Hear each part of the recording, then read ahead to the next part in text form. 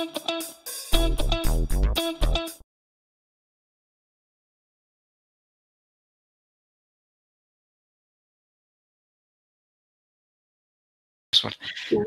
行，那我们啊，行，那我们就开始。行，欢迎大家来到阿帕奇 Posa 中文专场。阿帕奇 Posa 是一款云原生分布式的消息流平台，它应用于各行各业。刚刚我们介绍了 Posa 在腾讯计费，嗯，在中国移动的应用。那么接下来呢？我们还会介绍 Posa 在 IoT AI 方面的应用。下面就有有请 Appen 中国架构师蒋东良为大家分享 Apache Posa 在 Appen AI 数据服务平台的实践。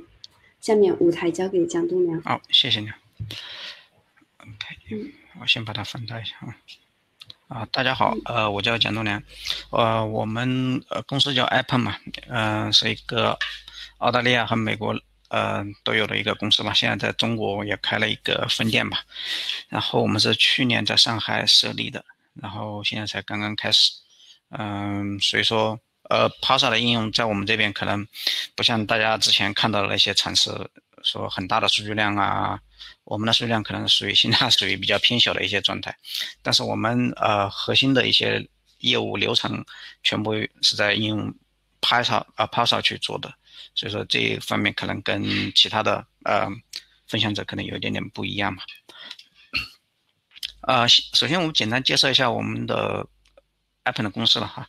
啊，我们主要是做这个 AI 这个的数据这个 data 的这个 collection 还有 annotation。那我们我们知道你如果想要一个模型比较好的话，其实呃很大很大一部分的原因就是说，如果你想这个模型做的准确或者能够被 training 出来的话，最占百分之八九十的一个原因，我觉得主要是一呃是一个 data 的 quality，对吧？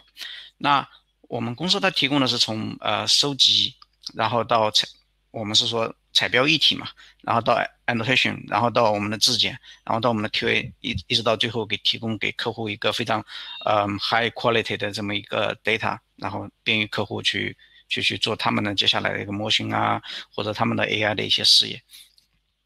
这是我们公司，呃，我们这是我们公司的这个呃网站吧，主要的这是一个宣传页。但我们现在在中国，呃呃落地了，然后我们有在中国有自己的平台。这个我们现在的平台是全新的，是基于这个 Posa 去做的。然后这个下面的这个网址是我们的一个呃标注平台的这么一个网站，就是嗯，比如说大家如果有人，呃，他。比较有时间啊，他可以去在这个网站上去注册，可以领取一些任务。呃，当然现在的任务不是很多啊，所以不要大家到时候去去去去做了之后，发现哎没什么任务，再跑过来骂我们哈。因为现在 现在我们才刚刚起步嘛，啊，去年去年开始的，其实我们到今年七月份才刚刚 roll out 出来一个比较嗯。比较完整的这么一个平台吧，还有很多问题在里面，当然，然后我们现在的呃团队也不是特别多，呃，就不是特别大，也就二十来号人，然后分成了很多个方面。那我们会有这个，嗯，我们会整个平台是说说 collection 到 annotation 啊这种这这么一种任务的划分，但是我们还有这个基于内容的划分，比如说有 image 的，还有 video 的，audio 的 test。啊，text 的啦，还有这个 OCR 的这种东西，我们现在还有这个 lidar 的，就是激光雷达做自动驾驶的，做 AI 的这个 lidar 的这个，啊，semantic segmentation 这种语义分割的这种东西，啊，这个大家有兴趣的话，会可以就是说登录到我们的平台，呃，来去注册，呃，或者说通过其他的一些渠道，那你们可以联系到我们的一些 PM，他们会有手上会有一些任务会让大家去做，会有一定的报酬去做这个事情的。那我们那个平台，呃，这是我们一开始给自己的这个平台做的这么一个呃设计的这么一个图。那我们呢是一个云平台，一开始我们定定义把自己定义成一个 SaaS 平台，然后我们相当于给客户能提供一个统一的这么一个 platform，让客户上去，呃，可以上传他的创建任务，上传他的数据，然后去招人，呃，招人来来做这个事情，然后呃。做在做的这个实时的过程当中，那他就可以做这个质检啊，做这个验收啊，客户的验收啊这种东西。然后我们在这个过程当中，我们还提供了一些嗯，从部署来，从下面往上讲，这些部署的方式，我们提供了一个 public cloud 这种部署，cloud 的部署，还有这个呃 hybrid 的 cloud，就是我们会有会给客户提供，就是有些客户对他们的数据比较敏感，比如说我举个简单的例子，就是嗯，大家可能知道，呃，在现在的过程当中会有一些。嗯，比如说内容审核的这种网站，对吧？大家也有也有很多的一些经验，比如说你发个帖子上去，为什么要过一会你才能看得见？它有可能是在内容审核。那内容审核的话，啊，一开始呢就是说比较粗暴一点的，可能就是通过关键字啊这些搜索。那后面做了一些，大概可能是基于说标标注了之后，我们用模型去判断，哎，这个内容该不该发出去。是吧？尤其像我们中国，可能有些政治敏感的东西啊，或者一些黄赌毒的东西，它是不会让你发出去的。那还有一些就是说，呃，这些是解决不了的，那需要一些人的实时的去去去去做这个事情。你发一个帖子，那其实背后有个人，他就在正在看。你发完之后，他就在看。那看了之后觉得，嗯，这个好像能符合规定，他就让你发出去，不然他就不让你发出去。那我们的平台想达到的就是说，不仅，呃，是给我们做这么一个 model 就 training 的，呃。就说，提供一个 high quality 的这么一个 data，让客户去 training 它的 model，同时我们还可以做一些实时的这种标注，那决定这个呃这个内容的这种是不是符合合规的。同时我们还 不好意思，同时我们还在这个呃里面，就是说现在正在正在研究、正在尝试的，就是说做一个 AI 辅助的辅助的引擎，我们会去做这种 AI 辅助的这个呃标注。呃，就是说怎么说呢？比如说你有很大批量的数据啊，如果你想提高效率，那最好的方式也不是说，呃，一种比较比较好一点的方式是什么？那我们能用一个模型给你做一个预标注。那这样的话，我们把这个呃数据预标注好了之后，然后再分发给这些呃 contributor 或者 worker 也好，他们再去做的话，在上面做一些修修改改、小小不同，能够提高提升很大的这个效率。啊，这个是我们的一个 AI 辅助的这么一个引擎在这个里面，然后我们嗯，在这个很大的这一块当中，呃，系统这个其实也很多，还有些地方其实还有很多地方其实还没有完成呢。这是我们最终的一个呃可能一个版本，只是现在拿出来跟大家分享。那 p a s a 在我们这个过程当中，它其实呃做了很多事情。第一个是在这个任务的分发，那像这个。Call Engine 的这一块，那基本上我们都是用了 p a s a 去做的。然后这个还有一个就是像这个实时的一些计算啊，还有这种呃欺诈啊这种东西，那我们也是用了 Pausa 去做的，加 Flink 这种方式去做的。还有这个 AI 的引擎这个东西，我们也是基于 Pausa 去做的。所以接下来会跟大家分享这个。那这个下面是我们的这个嗯网站，大家有兴趣可以记一下哈。OK，那我们今天的这个主题可能，嗯，就五点吧。第一个是，呃，跟大家可能每个人都差不多，为什么我们要去选择 Pausa？然后第二个是讲我们的一个核心的这一块，就是我们整个平台的这个 Flow 的 Task Distribution。那这一块我们是用 Pasa 去做的。那我们怎么样做到这个数据的，就是说？高可用，然后又很一致，然后同时又能提供一些很 flexibility 的。大家都知道，用用这种消息消息去做这个事情，可能 flexibility 方面稍微差一点，对吧？我们可能是怎么去做这个事情？然后还有一个就是，嗯，实时和批的这一块的处理，对数据的处理。然后还有一个就是 AI 的这个辅助的这么一个标注啊，AI 的辅助标注。最后一个是 Pausa 的 Tier Storage。那四和五呢？这个我们现在还刚刚开始，刚刚起步。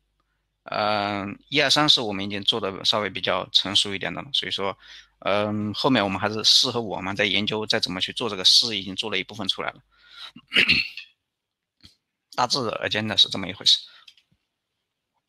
那我们一开始说为什么要去选，要去改造我们的系统？呃，我们之前的一个系统是一个老系统，是从美国那边的呃一个老系统拿过来的。那他们的一个老系统的话会有一些问题，比如说我们的。我们的业务场景要求我们去不断的去，就是说创建很多这种任务，对吧？Jobs，就像我刚才说的，我们会有彩标的，会有这个标注的采收集到标注一体的 QA 的这种东西，对吧？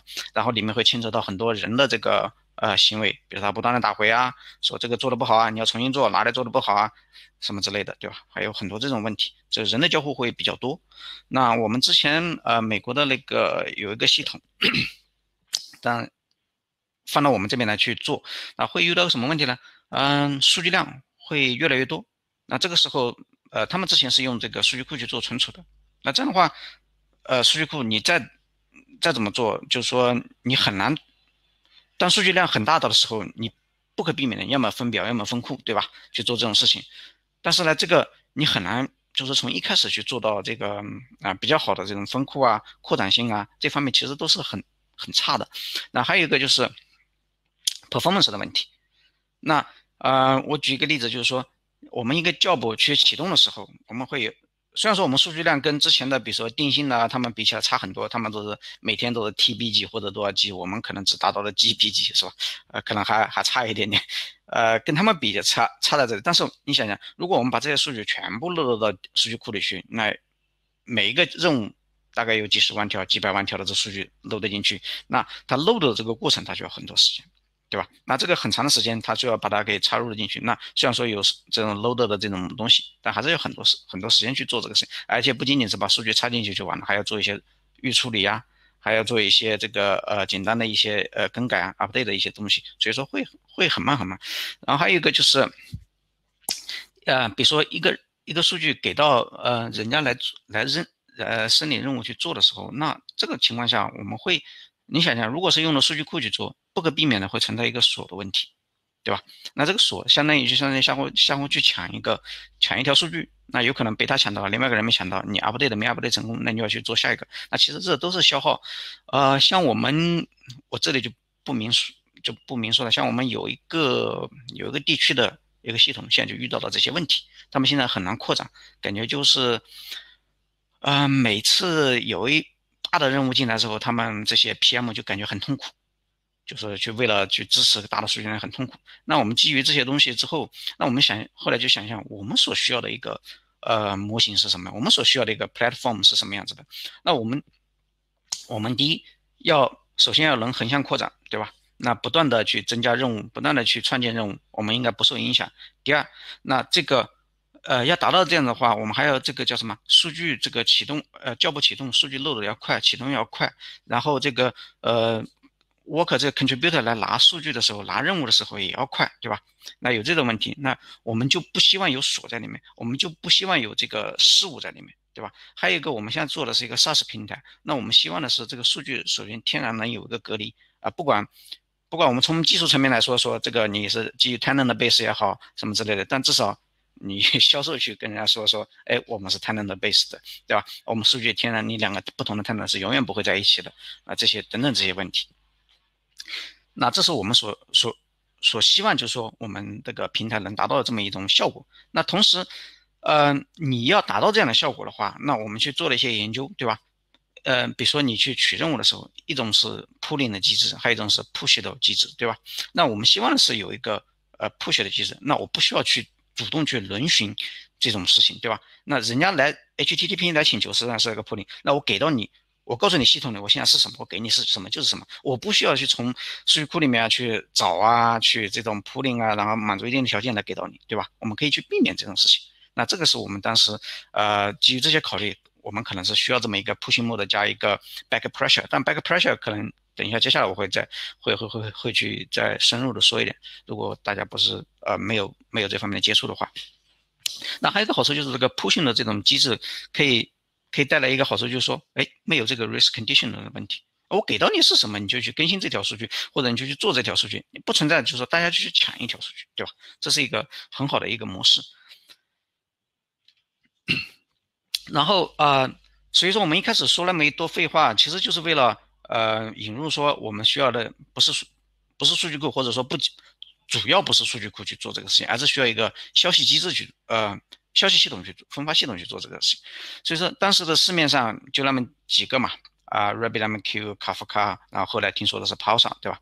然后 RabbitMQ 以前我们用过，呃，性能感觉不是那么特别好，所以我们当时就把它给 pass 掉了。然后后面就接触到了 Pulsar，然后之前 Kafka 我们也是有同事一直在用的。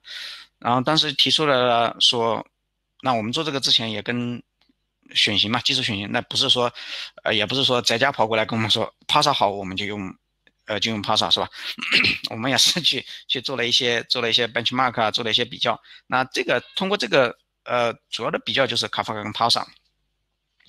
大家能看到，在这个呃这个图当中啊，这个是卡夫卡跟 p a s a 的比较。大家能看到这个 throughput 的话，这个卡夫卡非常高，然后 latency 呢，这个卡夫卡也很也也很牛，对吧？在这方面明显比呃 p o s a 这些都要好。但是我们一开始做这个的时候，我们一开始也是去比较了一下人家做的这个啊 performance testing 啊什么之类的。那我们当时就感觉这个差距很大，当时就有点向这个卡夫卡去倾斜了。但是后来我们 这个也是其中的一个吧。那这个他也讲了他的他们的两者机制的不一样。你看卡夫卡是一个 pulling 的，对吧 p o s a 是一个 push，那这个跟我们有点契合。啊，通过这个方面，大家看到可能就觉得。p a s a 不一定是一个很好的选择，但最终我们还是选择了 p a s a。那当时是有基于一个我们业务上面的一个考量，呃，像我刚才说的，就是说我们会有 SaaS 平台以后，哦，不对，我们这个平台以后就是个 SaaS 平台。然后我们现在有很多 PM 去做这个事情，我们每个 PM 他们会去创建很多任务。那其实任务它对应的就是什么？那如果我们用 Topic 去存储，那对应的就是存储，对吧？对应的就是 Partition 这个东西。那最终，最终的话。会落到了我们实际情况下，就是我们会创建很多 topic。那当时我们就是因为多了这个新颖，然后就是去做了这方面的测试。所以前面两张图大家看到的话，以为我今天是过来砸 Parser 的场子的是吧？其实不是，其实前面两张图是我们之前从 Confluent 的 i 呃那个 IO 这个网站上去抠下来的，然后我们去看过，嗯，去看过他们的这个 benchmark，然后我们要自己去做，但但是呢。但是呢，我们觉得就是说，别人说这个也不一定是正确的，或者说他在某些场景上是正确的。那我们我们要达到我们的目的，就是说我们要创建很多个 topic，那怎么办？那我们就当时就创建很多个 topic，然后去做这个测试。那下面这个这组的这个测试结果是我们啊，我看看是去年大概去年时候做的，那时候是基于 pasa 二点四点零还是二点四点一，我忘记了去做的。我们在同一台设备上先去。布了卡夫卡去跑，然后再去布了 p a s a 去跑。那大家能够明显的感觉到的就是说，呃 p a s a 在这个 topic 增加的情况下，数量急剧增加的情况下，它的性能其实是没有太大的呃下降的，很平稳啊。其实一个系统，我们不仅仅要求它的呃 performance 好，还有一个比较要求的，就是说它能够平稳，不要一下好一下坏，是吧？这样的话大家都受不了。我们最希望的是它能够很平稳的去去做这个事情。那呃，我们的我们的呃电脑当时这个测试的这个电脑的这个，嗯，因为是开的在阿里云上面就开的机器的嘛，我我忘记了当时的规格是什么，但是是同一套同一套机器去跑的。然后这个在 producer 的时候，你能看到就是说卡夫卡确实发送很快，那呃 Parser 它发送慢，那。但抛上我们当时好像是我记得当时是没有把那个嗯、没有把那个 batch 给开开。那没有把 batch 开开的一个主要原因是因为当时二点四还不支持你 batch 的 send，然后你 ack consumer 端 ack 一条条的 ack，它好像是不支持的。因为当时发现这个问题了之后，然后我们就感觉这个好像也不能用。所以说，但是如果你在呃现在二点六好像是二点六是吧？呃，这个 Parser 已经开始，就是你可以 batch 的 sending，然后你 consumer 可以一条条的 consumer，呃，一条条的 echo 回去。那如果把那个开起来之后，可能这方面的他们的 send 的这个差距可能没有那么特别大。然后一个主要的差距呢是在 consumer 的，大家能看到的这个 consumer 的，如果你在 topic 很少的情况下，你看看这个卡夫卡非常厉害，对吧？能达到八万，但是这个 Parser 也就三万的样子。但是我们在不断的增加的这个。增加了这个呃 topic 的时候，就发现哎，卡夫卡开始掉的有点厉害了。那我们的系统刚好要求的是什么？要增加有很多的 topic，我们创建很多的 topic，我想创建很多的任务，所以说这个感觉就因为基于这些测试嘛，然后它的 QP QPS 就在 single model 的情况下就差距特别大，这个好像是集群的。然后我们就因为这样的就把呃卡夫卡给否掉了。所以说是这么一个原因，我们选了一个 Parser。OK，那我们选 Parser 的时候，就说我们也不是为了捧一个或者去踩一个嘛。卡夫卡有它的呃优势，就像刚才说的，呃，它的性能特别好，对吧？因为它后其实也跟它后面的这个机制有关，它的机制比较呃，就是它的后面的逻辑比较简单嘛，是吧？它肯定性能会好一点。嗯，我们也我们系统当然也用了卡夫卡去做一些事情了，对吧？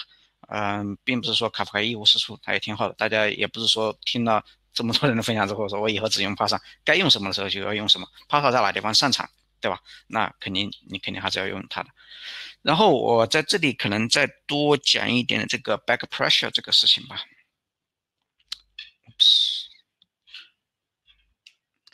那我们需要一个 pushing model 的。那 pushing model 的话，刚好卡呃 Parser 是一个 pushing model，对吧？当然，虽然说你去 receive 去拿消息的时候，你感觉是个 pull，它其实是其实是在它本地 local 的一个呃 q，然后给它给到你，对吧？那其实它是一种 pushing 的 model，是 server 端那边 push 过来的。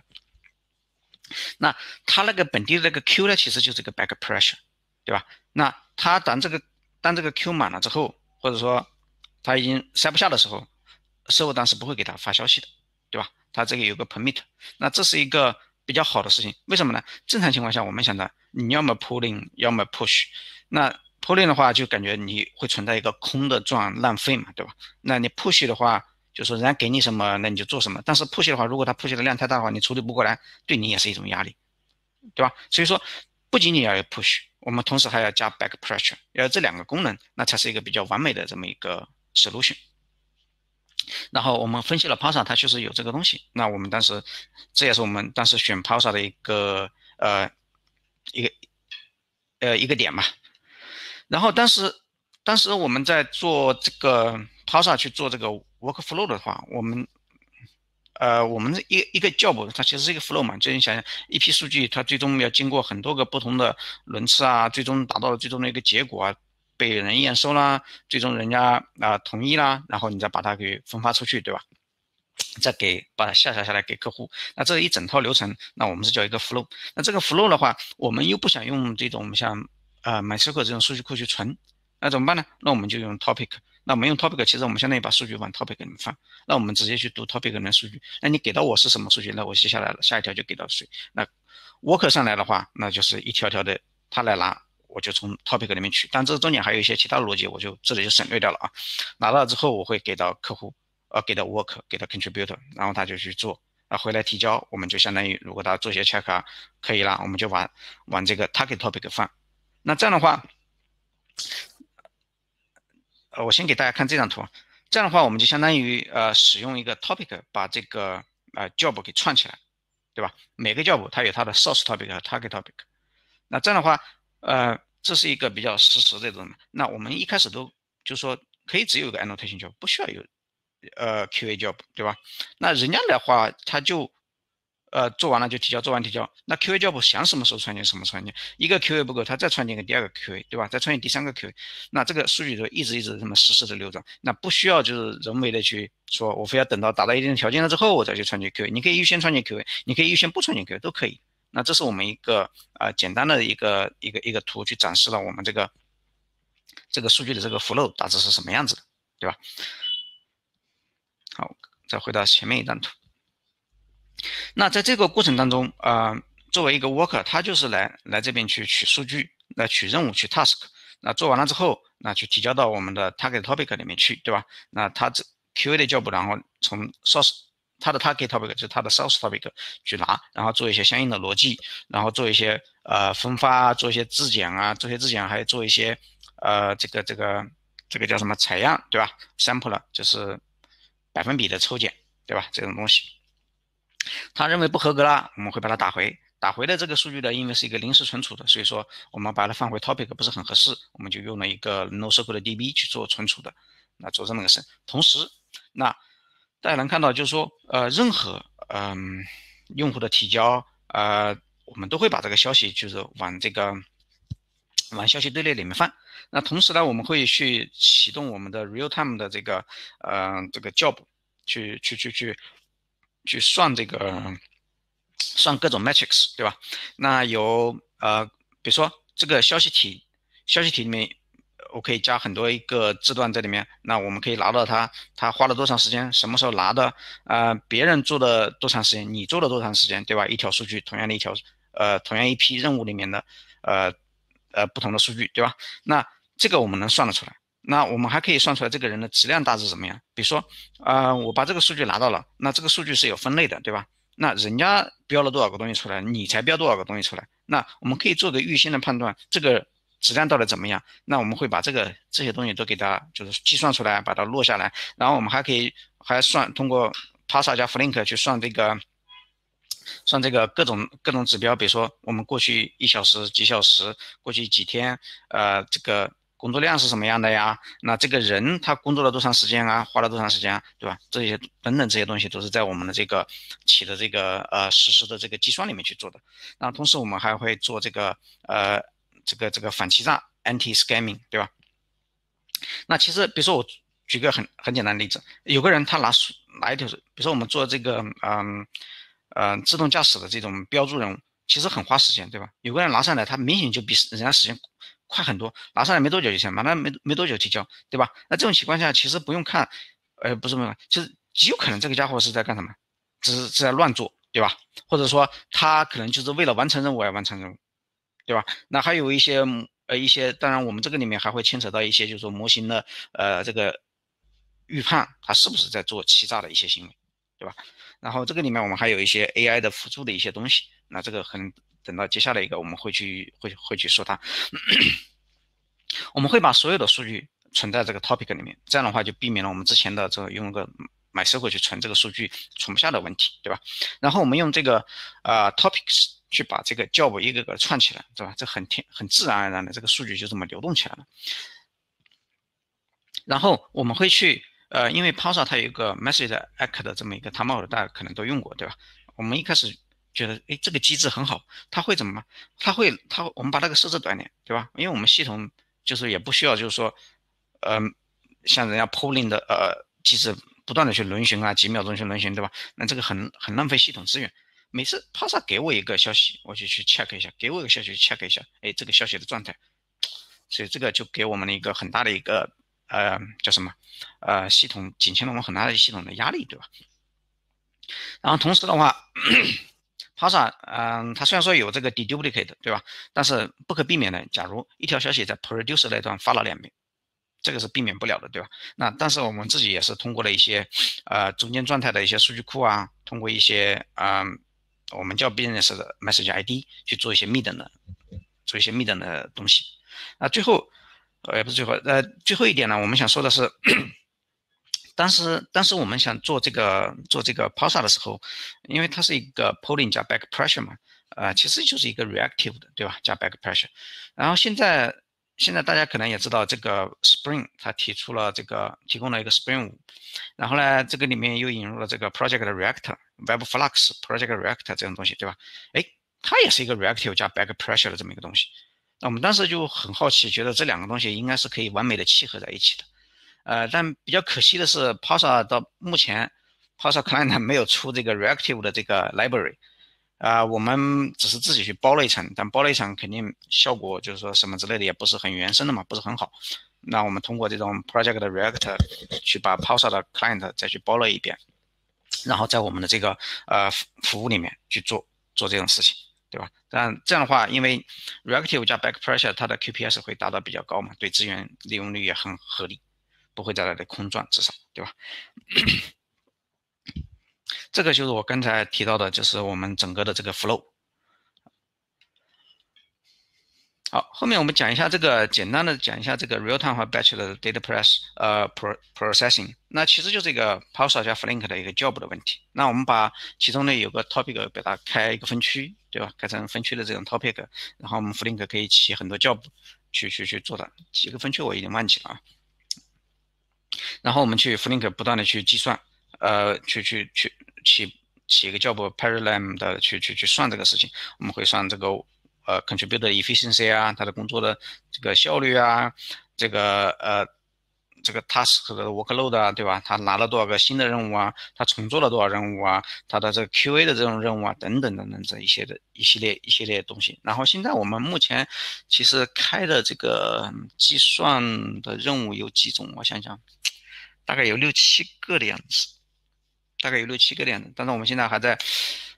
啊，这个跟我们产品经理有关。产品经理他说还要什么，我们再去想看看是不是再通过什么方式去做。因为你想一下，我们的一个消息里面把用户的所有的行为都给它放在里面去了，是吧？其实是能理论上来说是能够算出来跟这个工作相关的一些东西的，对吧？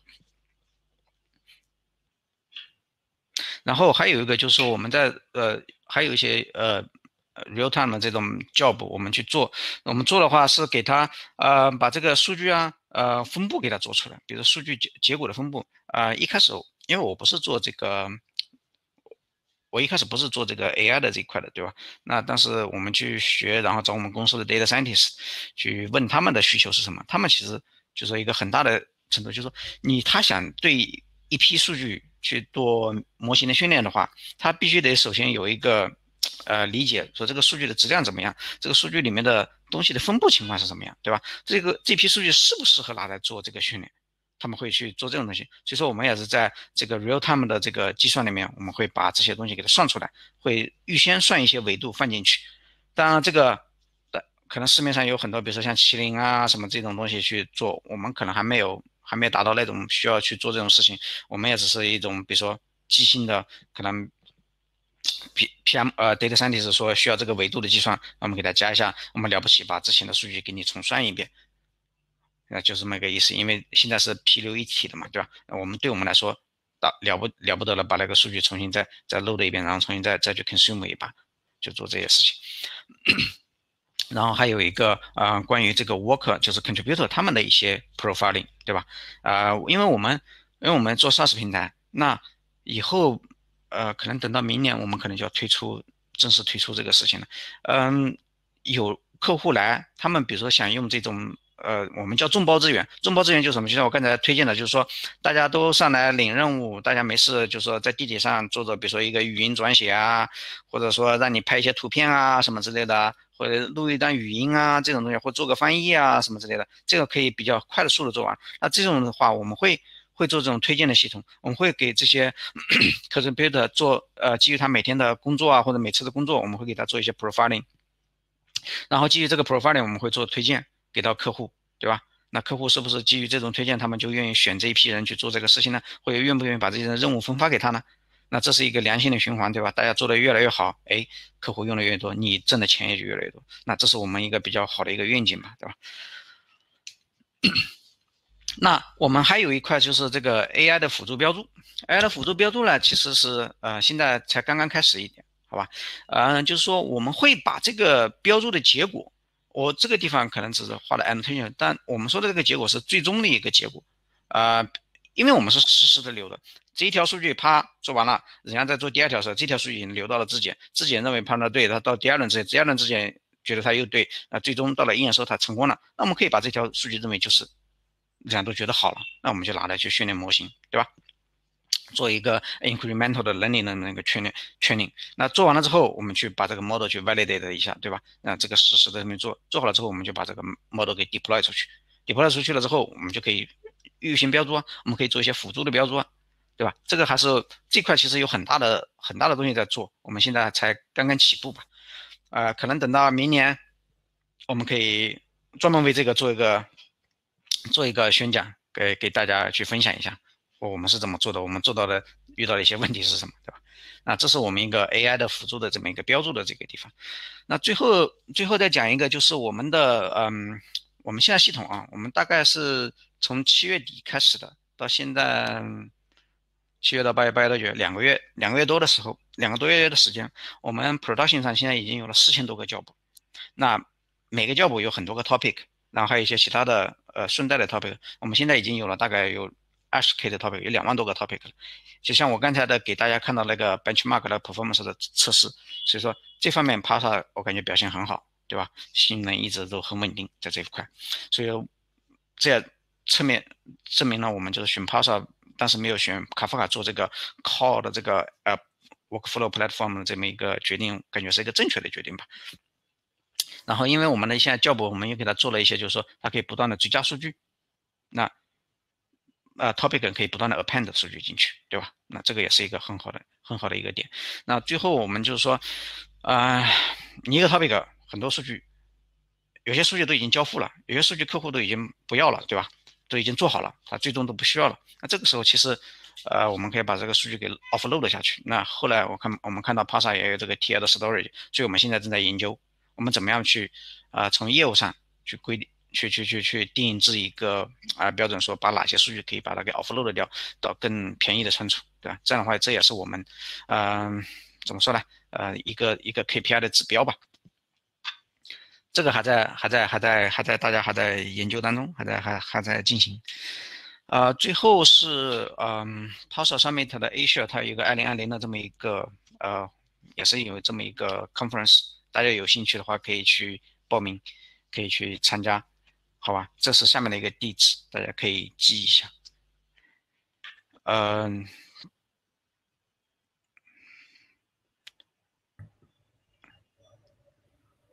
好，我的，我我讲的大概就嗯嗯，非常感谢蒋老师的分享。大家对蒋老师的分享有什么问题吗？现在可以提哦。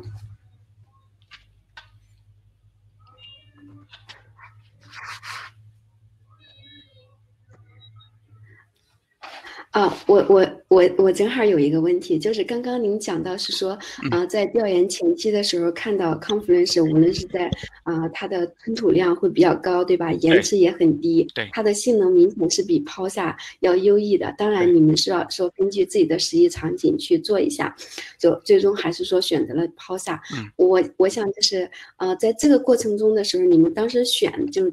决定业务上用抛下的时候，会不会就是冒着一定的风险呢？因为肯定会有人说，诶，用抛下吧，用用卡夫卡会不会更稳健一点啊？更更好一点？当时有遇到这种那个外界的压力吗？对，呃，这个是我们当时一开始也有这种，也也担心人家说你就是为了用新的东西而去用新的，对吧？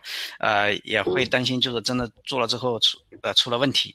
啊，这个也是我们背锅，对吧？没办法，所以说我们为了这个，其实我们当时测试也测试了很多。我给你们看的就是一个简单的这么一个 Excel，我也没有做那个花哨的那个呃图形表了啊。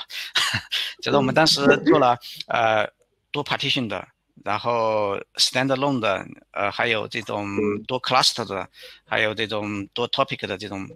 这种各种各样的测试我们都测过，呃，整体下来感觉 p o s a 在这个就是说 topic 多分区多的情况下，它的表现是其实是不错的。还有一个就是说，呃呃，卡夫卡在发送数据确实比感觉是嗯比 p o s a 快很多，对吧？但是我们我们不仅仅是说一个发送的问题，还有一个是这个接收 consume 的问题，对吧？我们在 consume 的时候，我们发现 p o s a 呃卡夫卡在这方面的 topic 一多，性能下降特别大。那这个性能下降的话，跟我们用数据库又有什么区别呢？对吧？那就没啥意义了。所以说，我们是顶着这个压力山，先这么上。如果有问题，我们再来去通过程序的方式去改，去去去去改进，是不是自己要去写很多的代码去做这个事情？那现在现在证明下来，就是说 p a s a 在这块挺稳定的。然后我们也写了一定的相应的代码去维护这个数据的一致性啊啊等等这一些问题吧。嗯。OK，非常感谢对 Apache s a 的信任，我们也相信在大家嗯的共同努力下 s a 会越走越好。嗯，谢谢。大家对蒋老师的分享还有其他的问题吗？有的话可以问。现在，OK。嗯，如果是没有的话，那非常感谢大家的参与，也感谢蒋老师的分享。嗯，我们 p o s a Summit Asia 2020呢，嗯，在今年的十一月底就会开始，然后现在在征集议题，然后我们的三 Up 平台，用的也是，呃，这个 Hopping，大家如果感兴趣的话，可以提交议题，嗯，提交议题，然后注册我们的平台。非常感谢大家，谢谢。嗯，好，再见。拜拜。嗯。